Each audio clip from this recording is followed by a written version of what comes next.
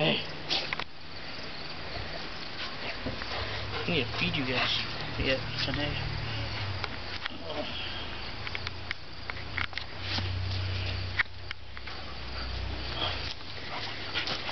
Whoa.